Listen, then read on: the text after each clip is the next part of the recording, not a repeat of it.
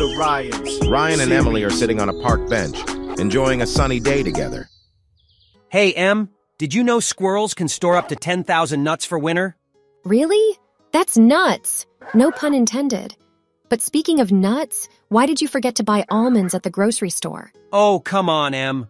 Don't go all squirrely on me now. I promise, I'll make it up to you. Fine, but remember, you're going nuts if you mess up again.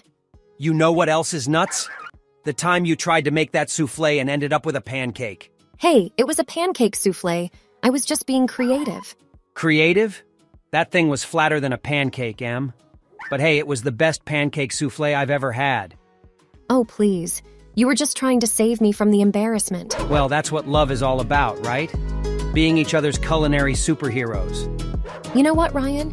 You're cheesy, just like that failed souffle. Cheesy, huh?